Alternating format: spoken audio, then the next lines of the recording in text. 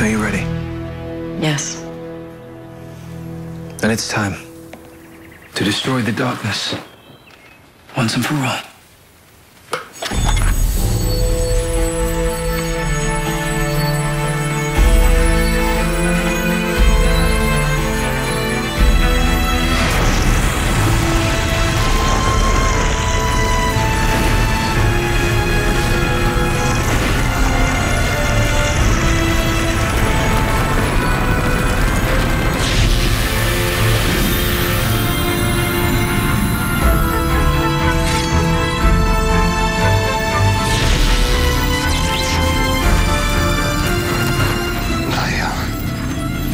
What's wrong?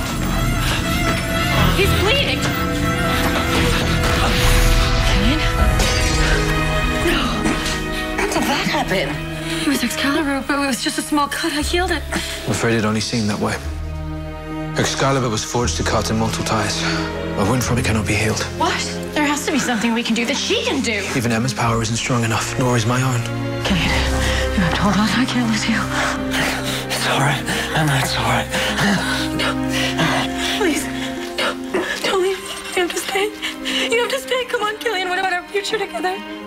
Our futures now. Reunite the blades so I can see them before I go. No. No. No. I'm not gonna let him die, but we know there's a way to save him. Emma. Merlin said it. There's nothing you can do. That's what he said. But it's not true, is it? You told me how powerful I am. Let's use that power. I, I can use the Promethean flame to release you from Excalibur, and then I can use it to tether Hook's life to it instead. It could save him. Emma, you know what that could do? Create another dark one.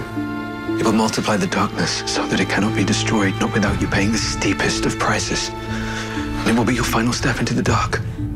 I don't care what happens to me. Emma, wait. Please, listen, you can't. Emma, your parents are right. If you would have saved Daniel or Robin, look how far you were willing to go. How far you pushed me to save him. I'm not gonna lose Killian. I won't let anyone stop me.